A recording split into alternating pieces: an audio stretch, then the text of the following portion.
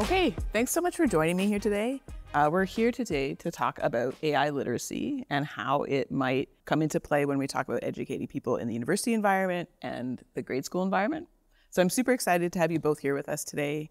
Adam, can you introduce yourself? Yeah, um, my name's Adam. I'm an assistant professor at the University of Alberta.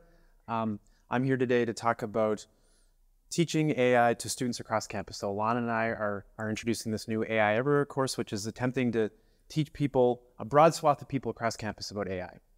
Yeah, awesome. And Jill, who are you? Yeah, so I'm Jill, um, Jill Kowalchuk. I am the K 12 education advisor at Amii. Um, I was a former teacher for seven years. I taught social studies, um, junior high and high school. So that's a little bit about how I how I ended up here to talk about teachers and literacy. And I'm uh, leading the project um, in our K to 12 space, so our pilot currently with our high school teachers.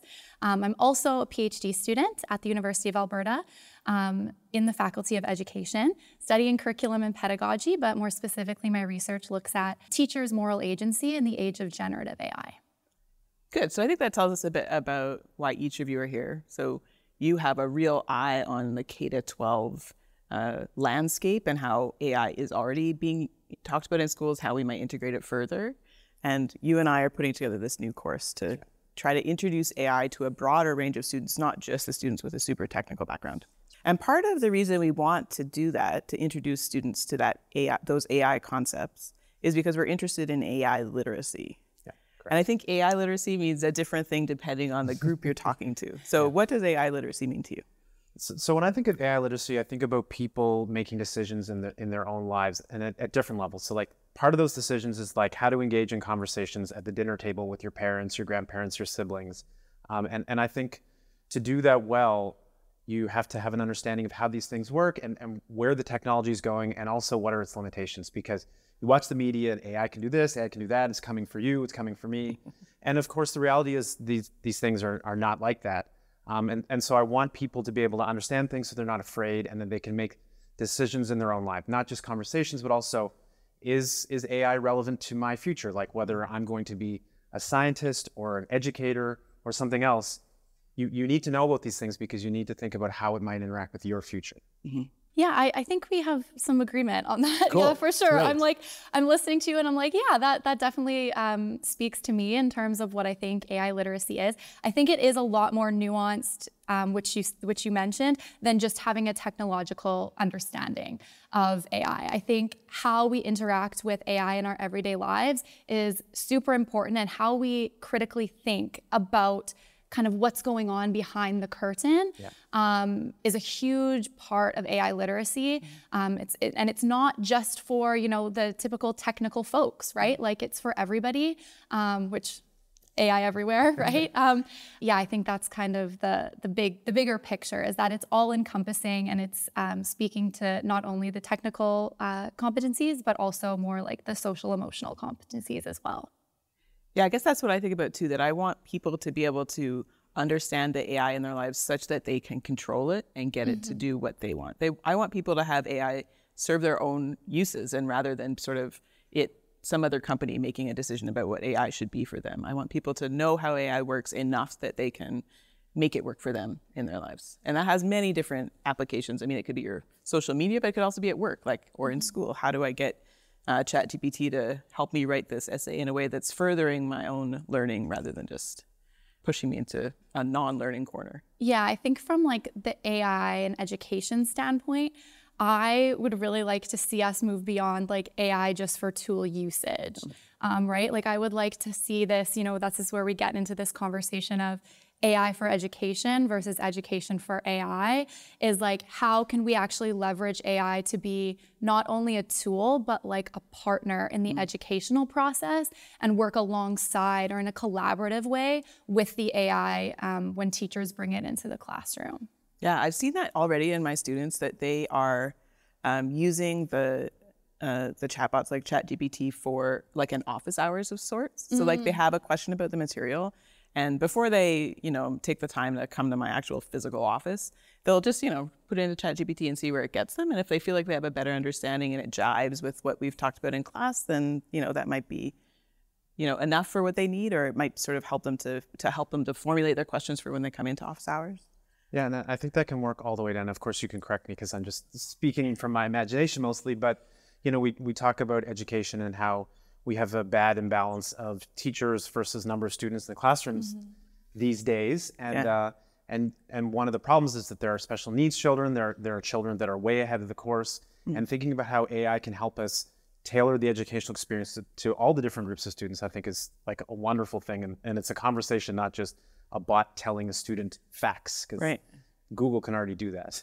Yeah. Yeah. And those are exa- like those are great examples of AI for education, yeah. right? Where I'm getting this kind of differentiation between um, the two education for AI versus AI for education is like we see um, in a lot of the pol- national policy documents and strategies that have come out, the mention of education is often in very specific terms that talk mm. about like economic competitiveness of a nation, as opposed to talking about um, what you just mentioned in terms of the um, supports that can be offered and the personalized learning opportunities that AI can provide. Yeah. Um, the other side, this education for AI, is about educating people to be a part of a workforce, mm. right? Or making sure that there are enough computer science or uh, specialists in the future um, to be able to move this field forward, but not thinking necessarily about the kiddos that are in the classrooms right now. Mm-hmm. So that's something that I think is really interesting from all of the, the national uh, strategy documents that have been released thus far. And maybe I could just add one more thing onto that.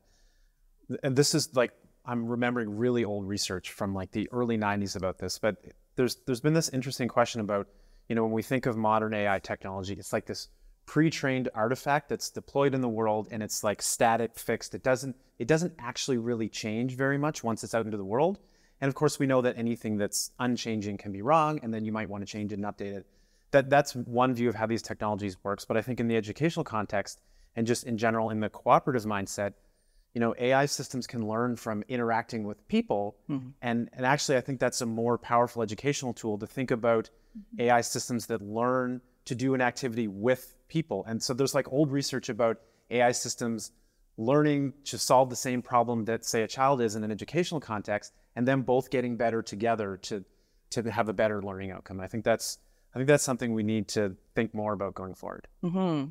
And like hyper personalization for education. Like my daughter loves Minecraft, but some of her friends are really into soccer. And so could you have an AI that used examples from those particular things to illustrate other concepts, like maybe physics, mm-hmm. you know? And then it would be more interesting to each one of the students if it had that sort of personalization. Yeah. And I think when we're talking about back to this idea of AI literacy, the the teachers need to have a special degree of AI literacy mm. that's maybe separate from the students in some ways. So, like that critical thought process, and I know we're gonna talk a little bit more about value alignment later, but um, what part of my job and my research is thinking about how can we support teachers AI literacy development so that they can better support students, and how does that look different? Because there's a lot of fear. I mean, mm-hmm. I, I did a sort of an evening session with some teachers, and they, you know, expressed a lot of concern about if students aren't writing anymore, how will they learn to think? And and so you know, finding a way to integrate a tool into the classroom in a way that doesn't interfere with learning outcomes. Like we still want our students to be able to write. We still want our students to be able to think through writing. And so how can we, you know, do both of these things at the same time? Yeah, I, I read this really interesting piece lately, and I the author's name is escaping me right now, but it was um, advocating, or he was advocating for a bilingualism of mm. sorts um, with AI and education. So teaching kiddos how to use these tools mm. and like what's going on behind the scenes, but not throwing away yeah. the pen and paper, not throwing away the traditional forms of education that we know work and the traditional pedagogy and instructional strategies that we know are be- best practice in education. Um, and so I think from my work with teachers as well, like that's something that I'm seeing is that we have teachers on both sides of the spectrum. Mm-hmm. Like there isn't a bilingualism, right? They're they're not meeting in the middle. There's either the folks that are like, no, pen and paper only, no tech in my classroom, mm-hmm. or it's the complete adoption of tech. And then it's like, yo, they don't need those skills anymore. Mm-hmm. So I'm very much um, a proponent of that middle ground. Mm-hmm. I think it's also to, important to like step back and realize that although this is a transformative technology and, and things are changing very quickly and it makes people worried and upset, you know, the the history of things is that this happens over and over and over. We don't have to look too far back to look at the internet. When I was in high school, the internet was not really a thing. Mm-hmm. By the end of university, it was a big thing in, in my educational experience. And you can go all roll the clock further and further back. Like I was reading The Great Train Robbery, and he was talking about how England was revolutionized overnight when cities arose, right? And it just fundamentally turned life upside down for every single person in the country, right? Going from rural to urban environments. And so we've been through these disruptive changes, and it's just important to take a historical view of it and say, this is this is a little bit messy, this is concerning, it's scary, but but you know, we'll get through it like we usually do. Yeah, and I think if you had asked me around this time last year when when ChatGPT was very new, like where we would be now a year later, I would have had I would have thought there would have been more impact sort of like on jobs, but it, it does seem to have happened a bit slower. And I think that's also par for the course that we have these ideas, things will change so quickly. And, uh, you know, people have their own inertia. Things take a little while. Yeah. And I think, you know, these things are often accelerated by um, the media wanting to inflate and excite people. Like that's, mm-hmm. that's kind of how they operate. But but on the other hand, also the, the researchers that drive it get really, really excited about their own research and the potential of their own research. And sometimes they're not as careful as they could be talking to the general public about it because they convey their broad view and vision of the future, and then people interpret that as that's tomorrow. Yeah. Mm-hmm. And I and I think that's what confuses the narrative a little bit too. I mean, I think some jobs have changed already. Like I think of I I'm not a computer programmer in industry anymore, but I was at one point, and I think people are in industry are using you know, code generating chatbots now, and their their jobs have changed, yeah. but their jobs haven't disappeared. And I guess that was sort of the thing that I was most worried about. But I mean, yeah, as you said, things change all the time. Mm-hmm. Yeah. And and I think this change in particular is really good for someone who like myself who advocates for like a total reform of the education system yeah, totally. a lot of the time. Yeah. Tell me right? more about like, this reform, total reform. Like this is, but I think going back to the personalized learning thing, mm. right? Like that I think this era of particularly generative AI yeah. is going to completely transform the way that teachers assess students, the things that we're assessing, mm-hmm. right? And I don't know what that's going to mean for, you know, standardized testing and these different models that we use, but I'm hoping that it's a change for the better. Mm-hmm. Yeah, I think there are just many aspects of our society right now where I would say we're under resourced. Like we we don't have teachers, we don't have nurses, we don't have people to do really important jobs, or at least they're way overworked, and thinking about how we can empower those people, remove stress in their lives, make better outcomes in what they do. Like, I think that's something that we can all get excited about while also worrying about, you know, the, the ways that might not be done well. Yeah.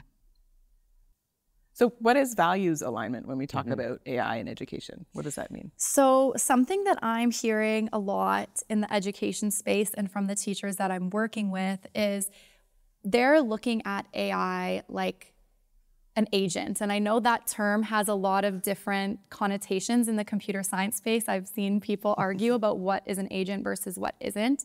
But overwhelmingly in the literature that I'm reading, the teachers that I'm working with, even if we're talking about something like ChatGPT, it's this idea of bringing an external agent, like a third entity, if you will, between you know the student, the teacher, and the AI into the classroom, and then teachers trying to figure out what kind of values does that agent, that entity bring into the classroom and how do I pedagogically align myself with that, right? Like there are certain um, applications and things in school boards that are not approved because they don't align for one of the reasons with a particular value. That could be like privacy or something, mm. right? But teachers also have deep like pedagogical values that go beyond student privacy and data security. And so, how do we know? Is it even possible to know what the developers' minds were like in terms of aligning their values when they built this thing? Mm. And so, how do we measure that? It's a really tough question because there's no universal agreement on any moral values. Right. So, if we say something's ethical, to whom is yeah. it ethical? You said something interesting there. You said the teachers aligning their value to the AI, mm-hmm. where we usually think of it the other way. Mm. Like AI developers think of trying to get AI to have the values of, you know, people. So Yeah. Why, why, did you phrase it that way? Is that really what you meant? Yeah. yeah. Yeah, aligning our values with it. And I think yeah, that that is what what people are talking about. How do I align my values? So it's just the same as if you were inviting um, a guest speaker into your classroom, right? You're going to want to make sure that your values are aligned with theirs. So maybe it's more of a mutual hmm. aligning of values than it is one-sided for teachers, uh-huh. if that makes sense. Good, and sort of maybe finding that middle ground between yeah. you and a, an, a, another agent, whether it be a you know an AI or a speaker. Yeah, yeah, and I don't know if the answer is all of our values need to align in order for me to bring that into the classroom. But how much or how many of those values need to align? Right. And like understanding also where they don't align and mm-hmm. making sure everyone's aware of like, you know, ChatGPT is not always truthful if that's a, or factual. And if that's a value of mine, factualness is very important to me. And I know that sometimes ChatGPT can say things that aren't true yeah. making sure everybody knows that, that. Yeah. We have to make sure that we check what ChatGPT says. Yeah, exactly. One of the teachers that I'm working with, he he said something really interesting about why are we even bothering or why are AI developers, scientists, researchers trying to align AI with human values when humans are inherently flawed and our values are not universal. Mm-hmm. Is doesn't it seem like an exercise in futility? Mm-hmm to try to do that. It's true, but I, I didn't think, have an answer. I think AI out of the box is so unaligned that like moving it slightly closer to whatever the mean like human value set is, the average value set is, is probably the right thing to do. Um, but you're right that people disagree on lots of things. I mean, we see it all the time in you know political debates. There's people have different ideas about what we should do, what is right, and we can't expect AI to to be aligned with everybody at the same time. Yeah, and I think that's why for education it's such a hot topic, right? Like education is deeply political.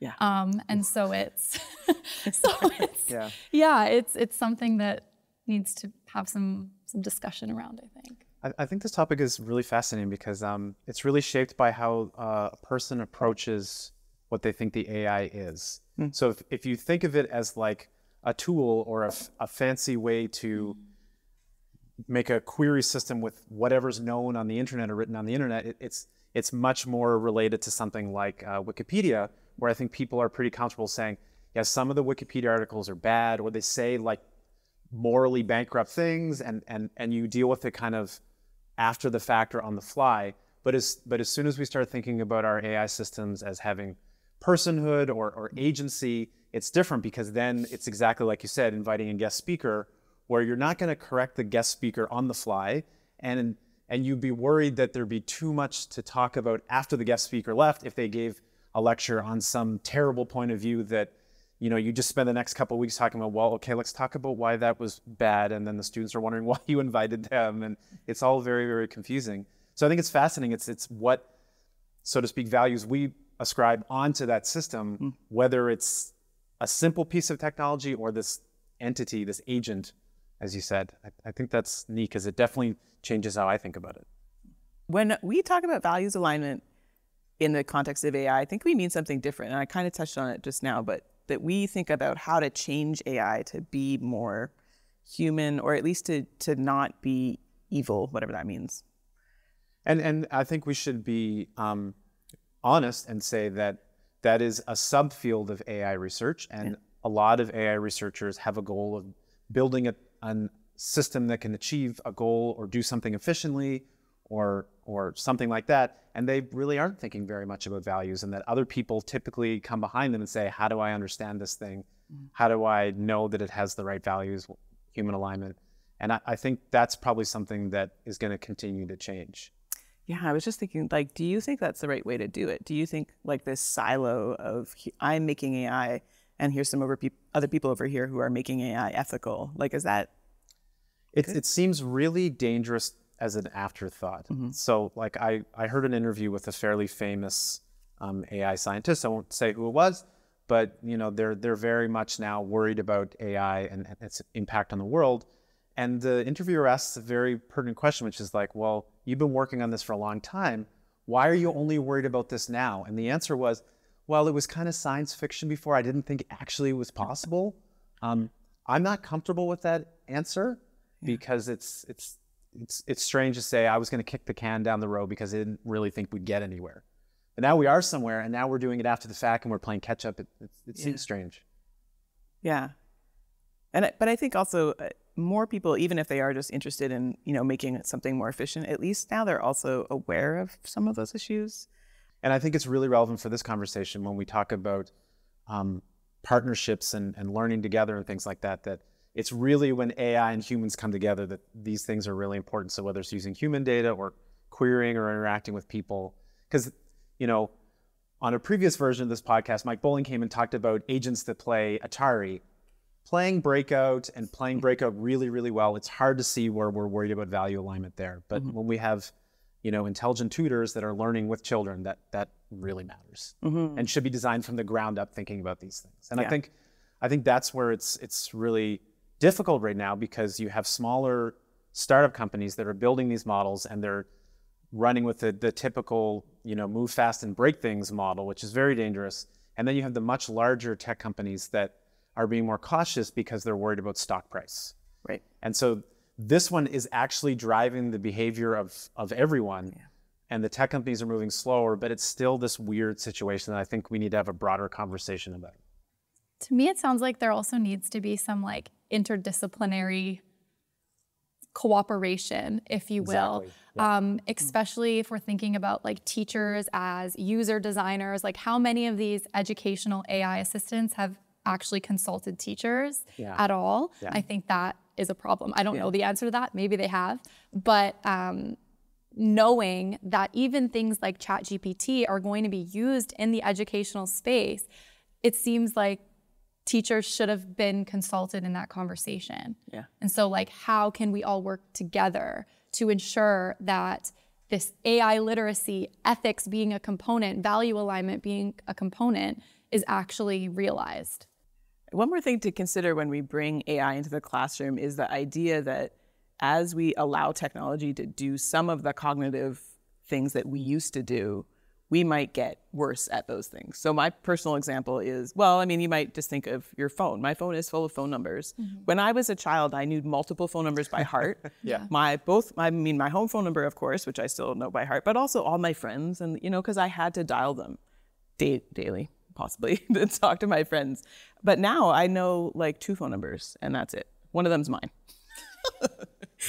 you know, so like how uh, so much of my, I, and I found in other areas too that my memory has definitely gotten worse because I have, you know, technology that can act as memory for me. So how might ChatGPT and these language models or AI in the classroom also affect skills? it's it's interesting because this exact question comes up in computer science. So in mm-hmm. computer science, you know, there's there's different ways to interact with a computer, and we call it computer programming when we write code. And there's different types of programming languages. There's the, the ones that people use nowadays, which is called Python. Everyone loves it. It's great. Then there are, there are languages that are much closer to the way the machine works. We call it machine code, and the level above that is called assembly language. And, and basically, the short answer is almost no one can understand it. It's extremely low level, but you could, you could write the most efficient code if you work that way. I never have to worry about that. And I haven't had to worry about it since I was an mm-hmm. undergrad and I took a course in it. Mm-hmm. But the reason I took a course in it is because at my university, they thought it was important for me to know how machine code worked so that I could think about it when I do other aspects of being a computer scientist. And, and so I think, I think we get to choose how we build our education in the future. And we can make decisions like that. Like your example is cell phone, my example is uh, basic arithmetic. Calculators and my phone I'm really bad at basic arithmetic. That's definitely my fault. Um, but I think as educators, we need to think about okay, it is important to teach machine code. It isn't important to do this other thing. And we have to constantly think about this, this question about what are the relevant things that we think we should still be good at, because we do hope that eventually that some things become basically you know, well understood enough that we don't worry about them anymore unless you're an expert in that low level thing so that we can you know, learn about the world at a, at a much higher level. If we taught all of human understanding back to when we were striking stones together to make fire, we would have way more than 12 grades. And, and we don't cover a lot of stuff that is now just assumed knowledge. But, but it is an interesting question of what we decide to cover and what we don't. And, and my example of uh, you know, machine code is very controversial, even in my own home department. People like, no, we should never cover that. That's dumb. And other people like, that's one of the most important things. Mm-hmm. So I think it's also really important to recognize that these cognitive extensions, um, whether that's a pen and paper or a math manipulative or a calculator, actually changes the way that we think, the process of thinking. The way that you think with a pen in your hand, able to write something down, is very different than the way that you think when you don't. And so I think there needs to be a, a deeper conversation too about what AI as a collaborative partner or how it changes the way that we think, mm-hmm. how it changes the way that students think. Mm-hmm yeah, I'm all for the the outsourcing of some of our cognitive tasks to free up space for other things. Yeah. But I don't think that AI should be considered on the same level as calculator. When I've seen many people make that argument, that this is the same as ChatGPT is the same as when calculators were introduced. Yeah. Um, not really, because calculators are like pretty understandable to the human mind of how they're operating. And we can, by ourselves, do that on a piece of paper if we yeah. wanted to. Yeah. But with AI, that isn't the case for mm-hmm. most folks. Yeah. The writing example is beautiful because I, I th- think about algorithms and experiments I want to run, and I sit there and think for a while, like, yeah, that's really clear. That's a good idea. And then I pull up my research journal and I start writing about it. And then I realize, oh, that's not clear at all. Mm. And there's a bunch of steps missing. And I, I actually don't have a clear idea here. And like you're right, this this this role of thinking through writing is like I think a really fundamental thing. And I think it would be bad if it was gone. Right, but maybe thinking as writing can become thinking as a conversation with mm. an AI agent, and it yep. doesn't have to. Like the process of writing is not the the key. The process, the important thing is that iterative That's nature, right. mm-hmm. that sort of like back and forth and thinking through step by step. And we learn to do it with pen and paper. Right. And I think students will learn to do it a different way. Well, and we're seeing that even before this AI literacy, but with digital literacy mm-hmm. in education. There are so many advocates that advocate for, um, you know, getting rid of the paper and pencil for certain kiddos that that doesn't serve them. Like mm-hmm. as a teacher, I saw that often. Yeah kids can't get their thoughts down on paper sometimes. And so if it's a conversation that they need to have with me in order to achieve assessment or right. what have you, that's reasonable. Or if they need to make a podcast or a YouTube video in order to get their understanding across, mm-hmm. I think that's a totally valid um, rhetorical form mm-hmm. that students can present. And I think AI just offers more opportunities for kids to be able to express themselves through different rhetorical means. Mm-hmm. And it's that iteration, right? Like even in the process of making a YouTube video, you might make part of it and then realize part of it's not good and go back and forth. And the process of getting from an idea to a final form, like that's what helps you think. And it doesn't necessarily have to be writing in mm-hmm. particular, mm-hmm. like the actual physical writing. Yeah. But I do think it's still a skill we should teach. We try to teach writing on paper. Yes. Because who knows? You yeah. might have to do it someday. I, I like the, the comment that, that Jill made about the calculator and that we can understand it because I think there is a progression that we're going to have to make about not perfectly understanding these AI systems, or at least not everyone. And mm-hmm. so all of us have probably got on a plane this year, and um, part of the takeoff and landing of that plane is done by for all intents and purposes, an AI system. You know, it, it controls things on the plane. I don't think any of us understand how that works, yet we trust it. Um, and and there's there's lots of examples like that out in the world. And so it is part of the story of trusting things we don't perfectly understand. Hopefully, there exist people that do understand those systems, and that's definitely true of the autopilot. Mm-hmm. Um, but not everyone will, and we have to be comfortable with that. I think.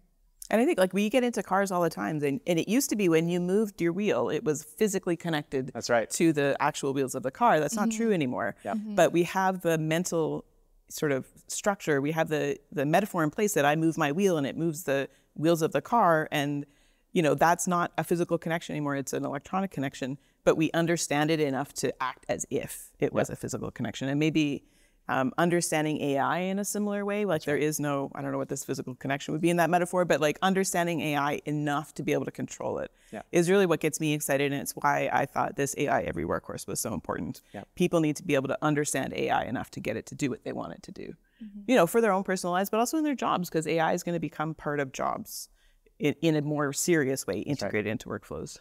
I also wanted to mention that I think AI in the classroom also opens up an interesting opportunity for students to act as a curator mm-hmm. rather than necessarily a, a creator. So when I was, you know, going through my grade schooling, there wasn't a lot of opportunity to read bad writing and think about why it was bad. Like most of the writing we were exposed to was either like our own writing, surely bad, but you know, sometimes it's hard to see, or the writing done by professionals, right? And there mm-hmm. was no opportunity to see that, you know, writing that's not great and how could I make it better? Sort of, I didn't feel like that was part of the process, but working with an AI, I think, opens up an interesting opportunity. Like, I often have the um, situation where I ask ChatGPT to write something for me and it's bad. And then I ask it to refine it. And this is this process of, of me helping ChatGPT to make the writing something closer to what I was envisioning. Mm-hmm. And I think that that sort of ability to see when writing is good and bad is also something that comes with interacting with AI. Do you have any thoughts on that? I feel like my experience in education, uh, I did try to expose students to different types of writing, maybe not necessarily like bad writing, but different types of writing. Um, and I do see value in what our learning kits that we built here at Amii for the K to 12 pilot um, really focus on is like critical thinking with mm. AI. Mm. So plugging something into ChatGPT and then refuting it or defending it. Right. Um, and I think that's a really valuable skill for kids to have with AI literacy. Um, you were speaking about earlier, mm. university students um, maybe running something through ChatGPT before they come to your op- office hours, right? And if we can prepare students with skills to be able to do that and, and critically think about AI mm-hmm. before they get to university, post secondary, the workforce, I think that's going to be a huge, a, a huge bonus. Yeah, and also, I mean, the process of being critical of AI also maybe helps you to be critical of other yeah. things in your life. Because I think also, I, I did a lot of my education without learning to question the things I was being taught. Mm-hmm. I remember one of my very first moments where my teacher said something in class where I was like, that's false. That's not true. And it was this mind blowing thing where I was like, teachers can be wrong, you know? But if we're teaching our students to think about whether the AI is right or not, maybe they will also take those, you know, critical eyes into other areas of their lives. Well, and that's the hope, right? To have some type of critical AI literacy, I think is what I would advocate for, just like right. critical digital or media literacy. Right. Right. And I think AI can support that, but it also presents challenges with like making it more difficult for students to discern, especially younger kids who might not have been exposed to things like deep fakes yeah. um, before, which adds a whole different layer into the media literacy piece. Right. Yeah. Yeah, it's so important. My daughter learned to fact check in like third grade. Yeah. She learned to get three sources online and yeah. make sure that and like YouTube videos don't count as sources. And she had like it was pretty amazing. It's great that they're teaching that. Mm-hmm. So important. So tell me about what is the rubber stamp phenomenon? So this idea that we as humans are just essentially going to become the rubber stampers of decisions made by AI. So this is definitely follow, falling into the moral agency piece. Um, and what I'm really interested in is like, yeah, to what extent are we just rubber stamping the recommendations that AI is making that is exercising some limited degree of moral agency, but I would argue it's not same as you know full moral agency. Um, and so, what kind of problematics can that, um, or what kind of problems can that bring forth? But I think it also speaks to what we need to teach kids again about AI so that they don't just become those rubber stampers are there things that it's okay that we're just the rubber stamp versus what isn't? Yeah. What should we be more engaged with? So, do you have an example of either where we should or should not be a rubber stamp? Yeah, I, I, the one example that um, I was recently reading was about like social welfare, actually. Mm. So, if we just become, um, if somebody is accused of like fraud on the basis on by an AI, yeah. through a social welfare system. And we just say, okay, like that could potentially lead, lead to devastating consequences. Mm-hmm. In education, I haven't necessarily seen this play out in real life, but a lot of our standardized tests, I think, kind mm. of do this in mm. a way. a one time assessment of a student's ability, I don't think is a good picture of what that student is actually capable of. But sometimes those one time assessments are used in a way that is going to harm them in the future. Yeah. And I think also there's a movement away from using GREs to decide who gets into grad school because sometimes that's a useful tool, but often, I mean, you, again, it's a one time test, it's a rubber stamp on your performance. It's not always indicative of your overall aptitude. Yeah, and, and I think this comes back to this this idea of just making everyone more critical and and engaging with things. So, like my example of a rubber stamp I want to keep is spam filtering. Mm-hmm. That's a machine learning system that's been working well for a long time. Things get through. Sometimes you have to check your spam filter, but by large, it works pretty well. Um, and, and then on, on the other extreme, I work a lot in industrial control and applying AI to industrial control. And so you go talk to plant operators, and they tell you how you know, the engineers came in and they made some predictive model of the system. And when the plant was first commissioned, it works really, really well, actually. Like it tells them how to control the plant. It's very efficient.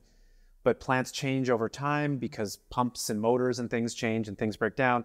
And so the whole system drifts away from, from the model. Mm. And so it stops working and the operators just stop trusting it. And then mm. eventually they just never open what the model says anymore because they have assessed kind of in real time this thing is no longer a useful decision support tool. And so I, I I like the idea of teaching kids, yeah, let's let's be critical about things. Let's ask the question, are they working? Are they doing the right things? Because I think that's one way to deal with this rubber stamp thing is to say some things you can trust and let's talk about those things you can trust.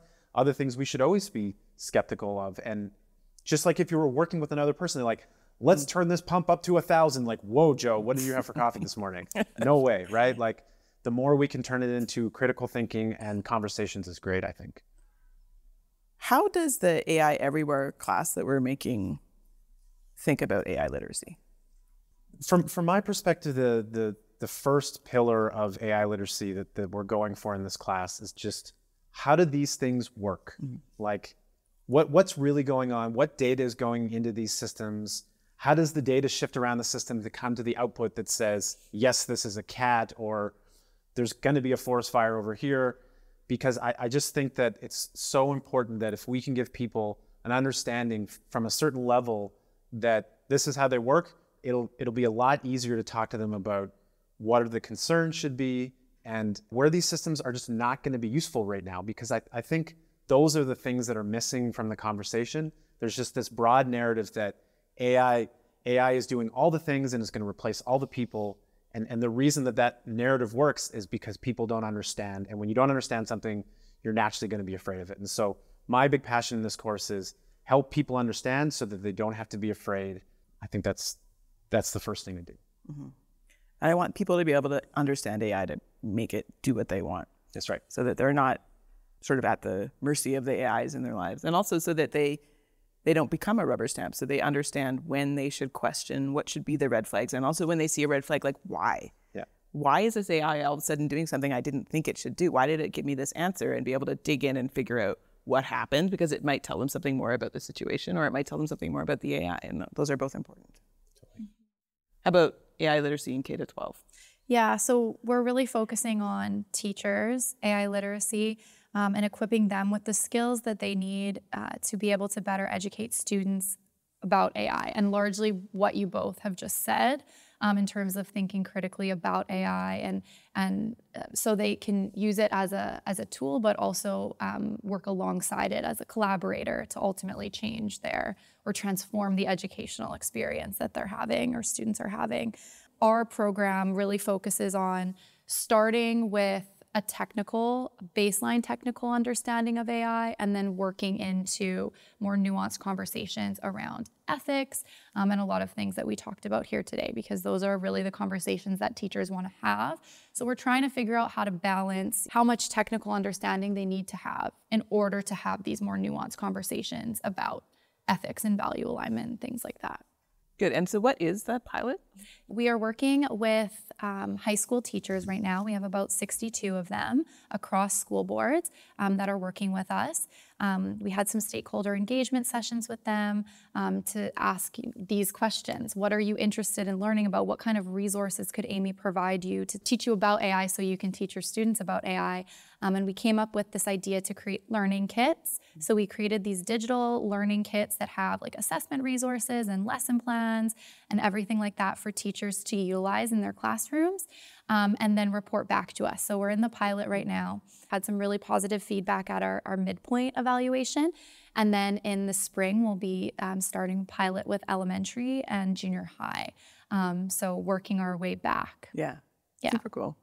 Thank you guys both so much for coming in. I'm super excited for our class next semester, the AI Everywhere. It's going to be it's going to be a ride. I'm looking forward to it. And also the K through 12. As somebody who has a kid, two kids now in K through 12, I'm so excited you're doing that work. It's so important, and I look forward to my children benefiting from it sometime soon, and all all children in Edmonton. Um, thank you so much for coming on, uh, and yeah, look forward to seeing how these things play out. Thank you. Thanks Any, Yeah. Thanks.